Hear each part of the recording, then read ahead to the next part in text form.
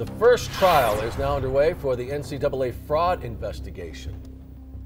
Opening statements were given yesterday for the former Adidas representative Jim Gatto involved in the investigation. It looks like he will give up the names of several players and schools during his trial. That includes Arizona. Mm. NBC reporting the lawyer for Gatto admitted he gave money to basketball recruits to get them to Adidas sponsored schools. His attorney says Gatto was involved in trying to pay recruit Nassir Little more than the 150,000 he says Arizona was going to pay to bring Little to Tucson. Several other recruits were mentioned as getting tens of thousands of dollars in recruitment bids. Gatto's attorney argues he broke NCAA rules but did not break federal law. Former Arizona assistant coach Emmanuel Book Richardson was arrested in this investigation and is now awaiting trial that's set to start in April.